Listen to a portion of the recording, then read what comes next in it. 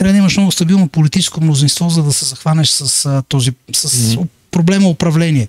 А, такова практически невъзможно да се осъществява. В момента ние сме на два лагера, едните от тук, другите от тук. Нали? Няма, няма как да се обединят двата лагера.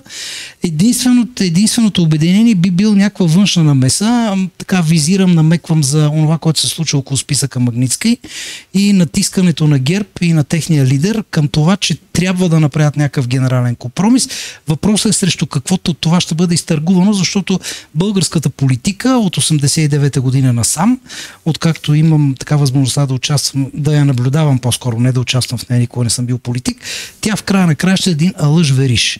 Една сергия, на която ни се представят много измамни, лъскави артикули, добре пакетирани, с така много приятно целофанирани, с целофанче, с станиолче.